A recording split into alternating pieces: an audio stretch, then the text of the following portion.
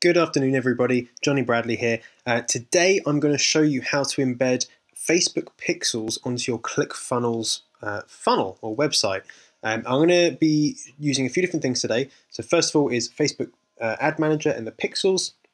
We're going to be using ClickFunnels as well. And we're also going to be using a, um, a, kind of a free Chrome extension where you can check all everything we're doing. So let's get straight into it. I'm going to turn off my video just because my computer will get a little bit hot if I do so if I don't do so, sorry. Okay, cool. So let's crack right into it. Um, so first of all, why would you use a Facebook pixel? Um, basically, a pixel will track everything that a user does when they enter a website, what pages they go to, and what you can then do is create custom audiences and custom conversions based upon a few key metrics like page view, view content, lead, purchase, or add to cart. Don't know why they're in that order. You'd want that to be the end. So, for example, if some people come to your website and they view your content, you can be able to see that. If that person turns into a lead onto, you know, after they've entered their email address, you can see that. And then once they purchase something, you can see that as well. I've added this to my ClickFunnels website only yesterday, so I've only got a little bit of data at the moment just so you can be aware of that. Um, so what we're going to do is we're going to go up to here in a minute, but let me show you ClickFunnels first. So if you're using ClickFunnels, um, fantastic. If not, I've got a link below where you can sign up.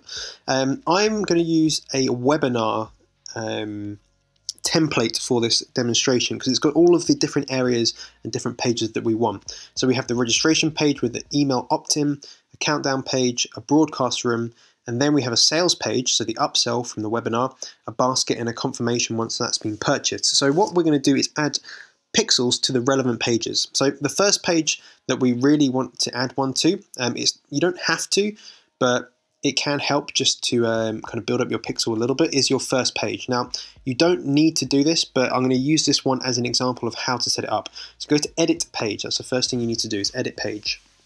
So the reason you don't have to do this is because it's the first page.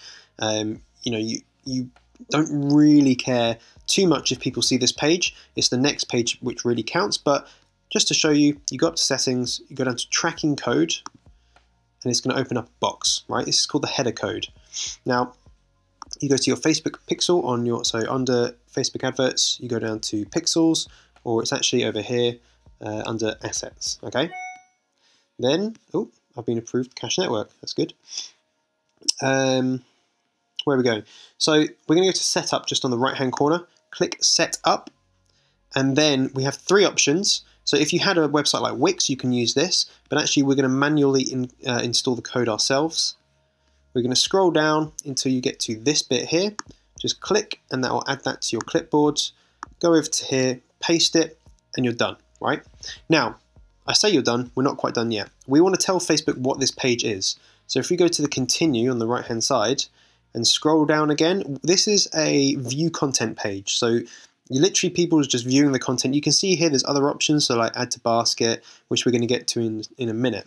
You then copy that and go to your landing page, and just at the end, paste that at the end, close this page, press save, and you're done. So that's nice and easy. Now, oh, my awesome landing page yet? That's fine. Again, this is just a template for now. So the next thing you're going to do is go through all of your pages. So we're going to go back, we're going to go through all the pages and add in different ones. So the, the really important ones that you want to get to are the actual, once someone's entered their email address, so this one here, um, once someone goes on the sales page, adds the basket, and then the confirmation. So what we want to do is go to the countdown and do exactly the same thing. So this means that someone's entered their email address. We then can go back to here. We're going to grab that uh, pixel one more time go up to settings, into tracking code, add that in. Sorry, this is quite quick. You can re-watch this if you need to. And then this is actually going to be a uh, lead, so a generated lead. This is really important that you get this stuff right. So Facebook knows um, what is what. Now, the better, the more Facebook knows about what page is what, the better it's going to actually convert in the future. Again, we're going to keep going through this. Let's uh, do not disturb on. So we're going to keep going through this.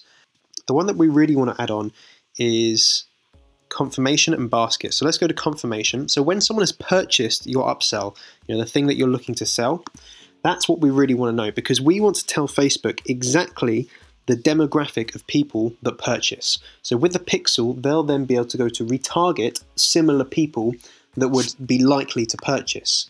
So in exactly the same way, we go through to that. We take the pixel code, again, you should have uh, got this by now, down to tracking code, add that in, and then we can go to purchase. Now there's a few other things you can do in here. You can put the actual conversion value. You don't have to do this now, um, but you could put in here the actual amount that purchase is worth. I tend to do that in when you when you create a custom conversion, um, just because the price can change sometimes. Again, post that in, hit save. Our little thing's going to pop up. That's not to worry. Okay, so how do we check that these are working? Easy. So I actually use uh, Chrome for this. So here is the page. So we've got the webinar opt-in, we've got the countdown page, the broadcast room, sales page for the actual upsell. Again, so when people click this here, and then we've got the basket and the confirmation, okay? So we want to have the pixel definitely installed here on the basket. So if someone abandons their basket and they don't buy, you can set up a conversion that retargets these people. You can set up a custom audience that retargets these people as well. And um, again, gets them back onto this page as quickly as possible through advertising. So that's, that's all what um, this is about. That's all you know. That's why you use pixels. So I have a Chrome extension. If you look in the top right hand corner next to a few of the ones I have, there's this one here, which is called Facebook Pixel Helper. It's completely free. You can download it from the Chrome store. And let me just reload this page as um, we've added the Facebook Pixel now. And you can see here, there we go, you can see here there's a little three. So if I click on that, you can see we've got a page view, which is uh, just generally what the pixel uh, will add, and then the view content data, so you can see there. Now, if we go to the confirmation, and we just reload that, then you will be able to see, yeah, page view, which it comes on all the pixels, and then the purchase pixel there, which is nice and easy. So this is fantastic if you want to set up advertising. When we go back to Facebook, we can click off of that. We can create a custom audience and in here we can have all people that have, for example, purchased or they've added to cart. So this is a custom audience where everyone that's added to cart, it will add into a custom audience. So added to cart. Um, and if you do the same thing for uh, purchase, what you can actually do in the when you're creating an advert is you can target everyone that's added to cart but not purchased. So you can exclude anyone that has purchased, which is why you need to have pixels embedded on all of these pages so you can exclude some people from the advertising, which is very important. You don't want to show your advert to people that have already bought your product. Um, so you can do that, create audience. Same thing with cu custom conversions. This is going to be another video, which is a little bit more in depth. But as you can see, it's super easy to set up. Um, just down to the tracking code. You can do it in one other way, but I don't advise doing this. So when you're on ClickFunnels, then you go to Settings, just on the right hand corner, then you have the option to put in a head tracking code here, which will embed your pixel onto every single page. Um, now I don't tend to do that, you see it's blank and all of mine are blank, is because I want to add the pixel into the individual pages that I'm trying to target. So guys, that's it. If you've got any questions about this, feel free to reach out to me, leave a comment below. Um, and just hopefully it'll, it'll, be nice and useful for you. If you do want any help on ClickFunnels, of course, you can book consultations.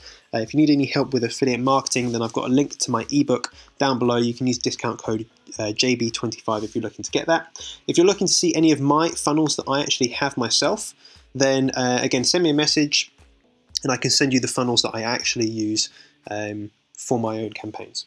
That's it, guys. I hope you have a fantastic day. Give it a thumbs up if you like this video and subscribe if you want to see more in the future. Bye bye.